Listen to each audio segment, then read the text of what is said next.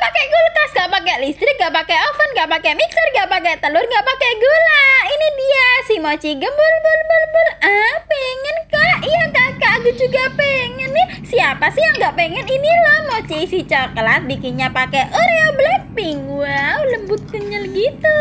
Ini Oreo Blackpink kakak, dipisahin isinya ya. Terus biskuitnya kita remukin kakak. Prok prok prok. Ambil dua sendok ya buat taburan nanti.